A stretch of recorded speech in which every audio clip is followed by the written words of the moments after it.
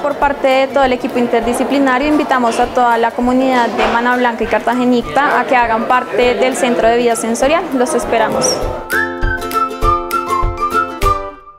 Hoy Mana Blanca queda con un centro de discapacidad dotado con un centro de vía sensorial. Dentro del centro de discapacidad va a quedar un lugar especial para los niños con dificultades de aprendizaje.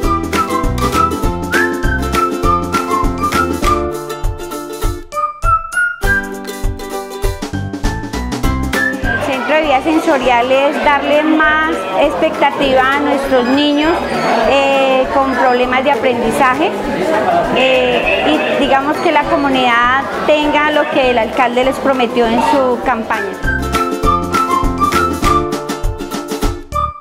Que tenía que desplazarme hasta Faca y pues ya, como decían ellos, muchas veces hay muchas mamás que no tienen para el transporte y pues esta es una buena posibilidad para que nuestros niños sigan en este aprendizaje. Yo creo que es una buena labor del alcalde y pues todos los que están eh, en medio de este proceso, pues porque yo era una de las que tenía que desplazarme hasta Faca, el alcalde nos cumplió con recuperando a Faca Tativa.